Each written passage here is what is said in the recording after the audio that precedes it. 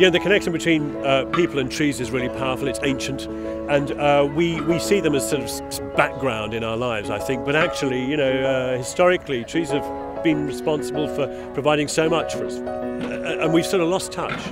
All of the trees here have got roots from one tree, grafted on, stuck onto the top of another tree. Oh, I support One Tree Per Child because I think it's just a brilliant idea.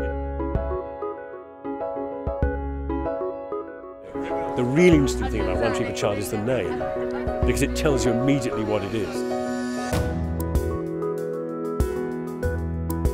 And it's about increasingly, I think, establishing a relationship between human beings and our environment. We're not separate from it, we are part of the environment, we're just another species.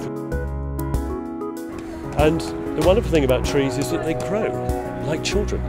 So as the kids grow up into adults, so they see that tree they planted grow with them and uh, so there's a there's a relationship not just to do with place but also through time. I think that's quite a beautiful poetic thing.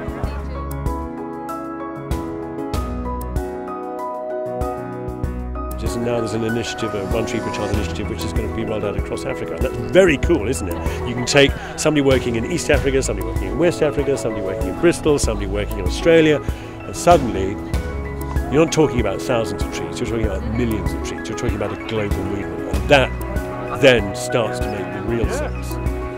You imagine if every child on the planet to plant a tree, we would solve so many of the world's ills, you know, in that single act.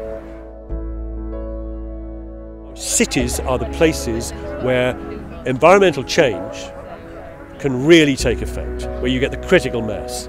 And this scheme demonstrates that. If you can start with the cities and the mayors and the education departments of those cities, you really win.